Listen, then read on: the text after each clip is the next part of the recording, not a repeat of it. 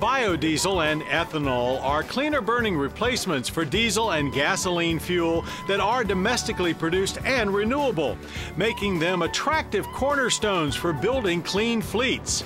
And no city demonstrates that more than Hoover, Alabama, where renewable biofuels reign supreme. 300,000 gallons of E85 are consumed each year by their flex fuel police vehicles. Hoover leads the state with 88% of their municipal vehicles using some type of advanced fuel, including biodiesel. Commercial B20 is used by their public works fleet, but the city also makes their own biodiesel. Since 2007, a recycling program allows residents to drop off their waste vegetable oil for processing. Biodiesel fuels 40 municipal vehicles, including the city trolleys.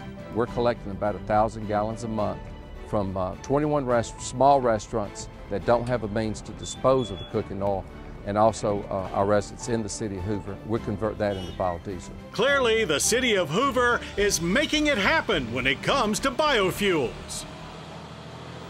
In Arizona, the firefighters of the Rio Rico Fire District have hit upon an innovative renewable biofuel solution.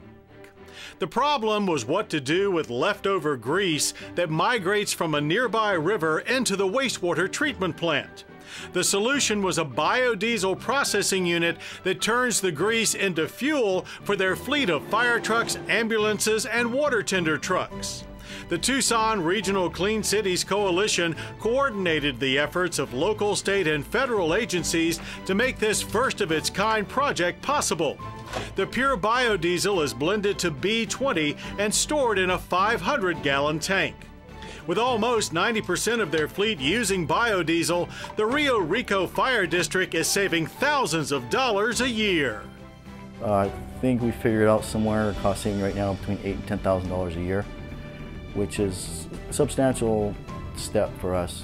As Rio Rico is only a few miles from Mexico, a similar biodiesel unit has been set up by firefighters there in a bi-national effort to turn waste into renewable green fuel for both sides of the border. Lambert Field in St. Louis was an early adopter of biodiesel for its Flightline support vehicles. Lambert began experimenting with biodiesel in 1987. Today, they have close to 400 vehicles that run on B20, including light duty trucks, runway sweepers, tow trucks, and front loaders. Their aircraft rescue firefighting units and emergency generator also run on the cleaner burning fuel.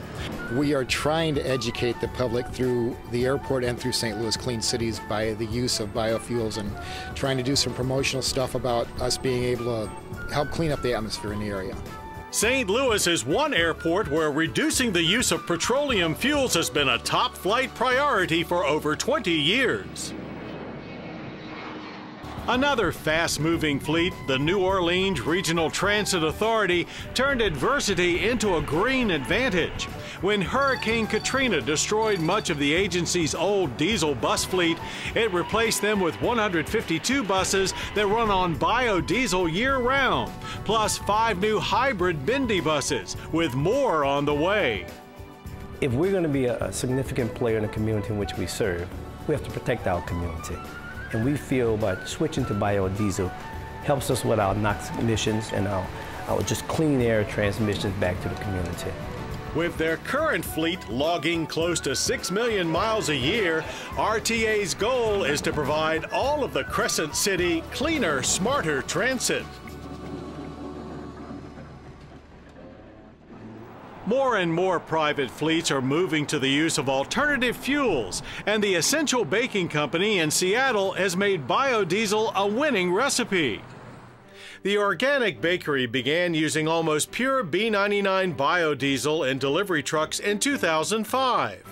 Currently, their 18 biodiesel trucks serve 21 routes seven days a week throughout the state. Drivers used to refuel off-site. Now a local biodiesel co-op provides solar-powered mobile fueling right in their parking lot. Even though biodiesel can cost more than petroleum diesel, the company feels the sustainable fuel is a smart investment. What we really like about biofuel is we don't do anything different to the trucks. We just put the fuel in it, and so there's no modifications to the vehicle. Essential worked with Western Washington Clean Cities Coalition members to identify the right alternative fuel for them and is finding that B99 is the perfect recipe to make their bread empire rise in the Pacific Northwest.